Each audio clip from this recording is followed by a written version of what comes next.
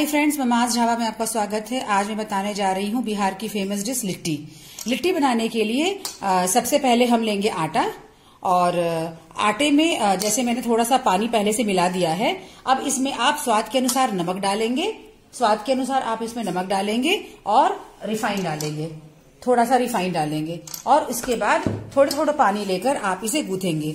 ध्यान ये रखना है कि जो लिट्टी बनाई जाती है उस लिट्टी का जो डो होता है वो हार्ड होता है। इसे सॉफ्ट बिल्कुल भी नहीं गूंधेंगे हम इसे सॉफ्ट गूंधेंगे ये देखिए इस तरीके से हम इसका डो बना रहे हैं। थोड़े थोड़े पानी डालकर आप देखिए आप आप देख रहे हैं ये काफ़ी आ, कड़ा हम डो बना रहे हैं। ये देखिए, अब मेरा ये डो बनकर तैयार है। अब हम इसे सेट करने के लिए सेट होने के लिए 10-20 मिनट के लिए छोड़ देंगे और तब तक हम लिट्टी में डालने के लिए सत्तू की फिलिंग तैयार करेंगे।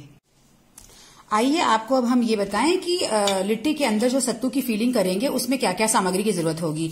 ये मैंने देखिए 400 ग्राम चने का सत्तू लिया है। कोई मिक्स नहीं करना कुछ भी। 400 ग्राम शुद्ध चने का सत्तू है। इसमें हम डालेंगे नमक स्वाद के अनुसार।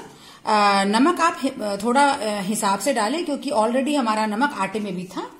इसके बाद हम डालेंगे अजवाइन और थोड़ा सा कलौंजी। इसके बाद हम डालेंगे, ये देखिए मैंने दो नींबू का रस पहले से निकाल के रखा हुआ है। इसके बाद हम डालेंगे नींबू का रस। कद्दूकस किया हुआ अदरक एक इंच। का टुकड़ा है, जिसका मैंने कद्दूकस कर रखा है। ये लहसुन, बारीक कटा हुआ लहसुन, धनिया पत्ती, बारीक कटी हुई, प्याज, बारीक कटा हुआ। अगर आप प्याज नहीं खाते, लहसुन नहीं खाते तो आप इसे स्किप भी कर सकते हैं। इसको हम मैश करेंगे। जो खास एक बहुत इंपॉर्टेंट इंग्रेडिएंट है, इसका वो है सरसों तेल, कच्चा सरसों तेल। अब हम इसमें डालेंगे कच्चा सरसों तेल। और अब इसे आप अच्छे से मिला लें। पानी हम तब तक नहीं डालेंगे जब तक आवश्यकता ना हो। आप इसे मिला लें। कोशिश करें कि ये नींबू के रस और सरसों तेल से ही मिक्स हो जाए। अगर ज़रूरत पड़े तो हम थोड़ा बहुत पानी डालेंगे। इसमें हम थोड़ा मिर्च डालेंगे और मिर्च डाल के फिर हम इसे मिक्स करेंगे। आप मिर्च चाहे तो साथ में भी डाल सकते थे। ये देखिए, इसको हम गीला नहीं अभी तक हमने इसमें पानी नहीं डाला है। एक बूंद भी पानी नहीं डाली गई है।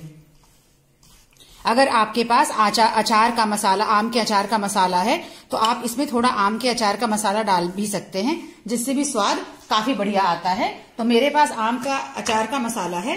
थोड़ा सा मैं आम के अचार के मसाला का डाल रही हूँ, मसाला।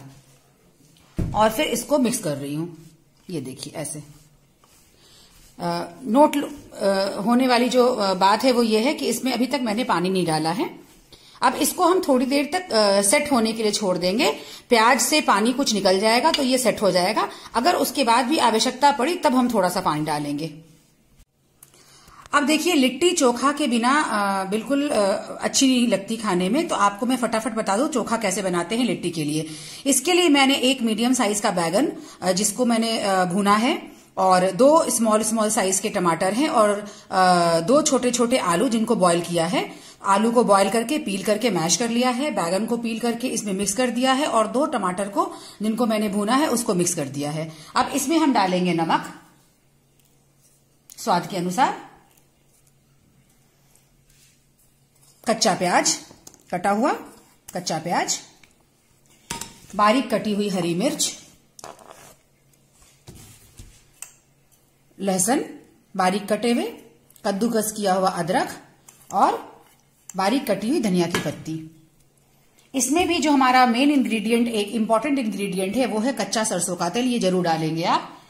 उसके बाद आप इसको मिक्स करेंगे। हाथों से मिक्स कर दें। ये हमारा चोखा तैयार हो गया है।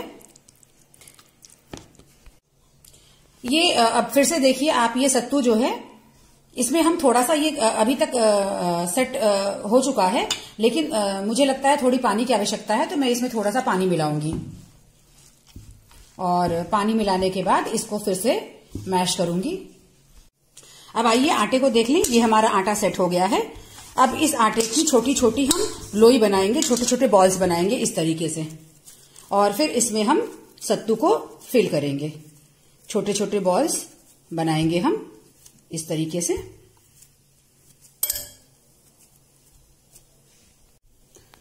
ये जैसे मैंने लोई बना ली, अब इसको आप इस तरीके से कर लें। अगर आटा चिपक रहा है हाथ में तो थोड़ा आप सूखा आटा भी ले सकते हैं। और इसमें हम, ये जो सत्तू का मिक्सचर बनाया था मैंने, ये सत्तू का मिक्सचर इसमें हम ऐसे फिल करेंगे और उसके बाद इसे आप क्लोज कर दें। इस तरीके से क्लोज कर दें। इस तरीके से। इस तरीके से दूसरा भी हम बना लेंगे।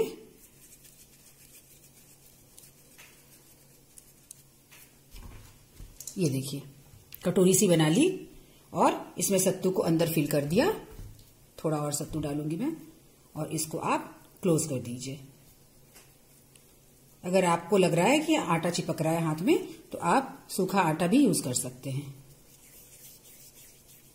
इस तरीके से। अब देखिए, इस तरीके से मैंने सारी की सारी इस तरीके से लिट्टियाँ बना ली। ये सारी की सारी लिट्टियाँ मैंने इसी तरीके से बना ली। अब ये लिट्टी हम ओपले में भी बना सकते हैं और हम इस तरीके के ओवन में भी बना सकते हैं। तो मैं इसे इस अवन में बना रही हूँ। अवन को मैंने, आप देखिए अवन को मैंने हीट कर लिया है।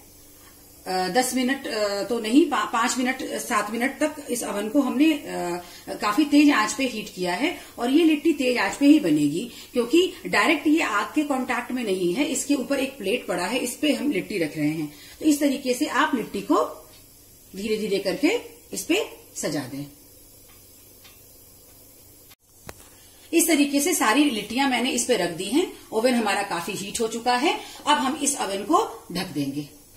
और बीच बीच में चेक करते रहेंगे और उलटते पलटते रहेंगे। देखिए, पाँच मिनट हो गए हैं, अब हम इसे चेक कर लेंगे। ये देखिए, सबसे पहले बीच वाले को तेज कर चेक करेंगे, क्योंकि यहीं पे आँच ज़्यादा लगती है। ये देखिए, इस साइड से ये पक चुका है। तो धीरे धीरे करके हम इसे पलट लेंगे। इस तरीके से हम धीरे धीरे करके सभी को पलट लेंगे। आइए जरा चेक करके देखें। ये बीच वाला हमारा देखिए हो गया है। इसे हम प्लेट में निकाल लेंगे। ये भी हो गया है। इसे भी हम प्लेट में निकाल लेंगे। और जो साइड साइड वाले हैं, उनको हम वापस से बीच में करते जाएँगे और फिर चेक करते जाएँगे। इस तरीके से। फिर ढक देंगे हम इसे। इसे आप जो हमने चोखा बनाया था, चोखा के साथ सर्व करें और लिट्टी को मक्खन के साथ सर्व करें। मक्खन को ऐसे आप इसके ऊपर रब कर दें। बहुत ही टेस्टी लगेगा खाने में। एक टिप मैं आपको यहाँ देना चाहूँगी। अगर आपके पास ये अवन नहीं है तो परेशान होने की कोई ज़रूरत नहीं। जैसे मैंने लिट्टी बनाया था, लिट्टी को आप गर्म पानी करके बॉईल कर दें और बॉईल करके जब लिट्टी पक जाए तो उसे आप तेल में छान के भी खा सकते हैं, अगर आपके पास अवन नहीं है तो। नेक्स्ट वीडियो में मैं शेयर करूँगी लिट्टी को कैसे उबाल कर हम फ्राई कर सकते हैं। तो फ्रेंड्स अगर आपको ये मेरा वीडियो पसंद आया हो तो please please please like share और कमेंट करना ना भूले। तभी मेरा मनोबल बढ़ेगा और मैं और अच्छी अच्छी अच्छी सी रेसिपी पोस्ट करती रहूँगी। Thank you